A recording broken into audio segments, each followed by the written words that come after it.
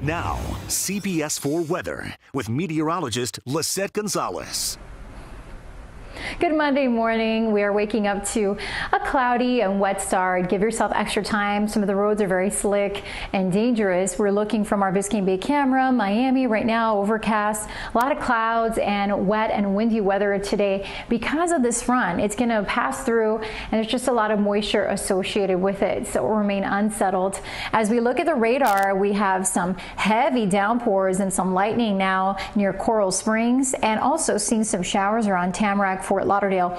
Flood advisory continues until 7:15 a.m. for southern Broward and north central Miami-Dade County for places like Davie, Miramar, Pembroke Pines, near Hard Rock Stadium, Miami Lakes, because we had some heavy, heavy rain earlier, about one to three inches of rain. Additional rainfall has been falling, and so we could see some street flooding. And then Aventura, North Miami, dealing with some shower activity, Southwest Ranches, as well as now a lot of the rain beginning to move across Miami-Dade County, run Doral, Miami International Airport, parts of downtown Miami. Miami, Miami Beach, Key Biscayne, West Miami, Sweetwater, Coral Gables, Kendall Lakes. I just heard some thunder outside my house here near Kendall, the hammocks, and also across Key Largo in the upper Keys, some thunderstorms. A wind advisory is in effect through 2 a.m. Tuesday due to the northeast winds, about 15 to 25 miles an hour, gusts to 35 miles an hour. So hang on to the umbrella.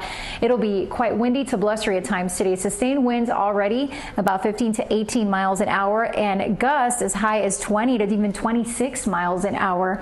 And temperature is warm and sticky, upper 70s and low 80s. Tropical storm Beta expected to bring tropical storm conditions to portions of the Texas coast this morning and throughout the day today, moving west slowly at 6. Forecast to possibly make landfall later this evening and then push onshore, move to the northeast, become a depression and an area of low pressure. So for Texas and Louisiana, heavy rain, flooding, gusty winds, and storm surge a threat. And then as we look at the rest of the tropics, Hurricane Teddy, southeast of Bermuda is a category two. It'll continue to possibly just move to the east of Bermuda, but we're dealing with large swells up and down the Atlantic coast and dangerous rip currents, rough boating conditions, post tropical cyclone Paulette way out in the northern Atlantic, not a bother to anyone. Remnants of Wilfred just to the east of the Lesser Antilles in the central Atlantic. So no direct threats for us here in South Florida, but we are going to be dealing with stormy conditions at times today. Highs in the mid to upper 80s, gusty downpours. It is not a day to be heading to the beach or swimming because it's very dangerous due to the high risk of rip currents. Also, that coastal flood advisory continues as minor coastal flooding will be possible around high tide times around noon and midnight. Small craft advisory, a gale warning is in effect. So boaters, very hazardous conditions today. Gusts to 35 knots, seas 7 to 9 up to 11 feet, north swells about 3 to 5 feet. So definitely not a day for beach going or for boating. Tonight, scattered showers, staying windy, 76. Tomorrow, the official start of fall. And you know what?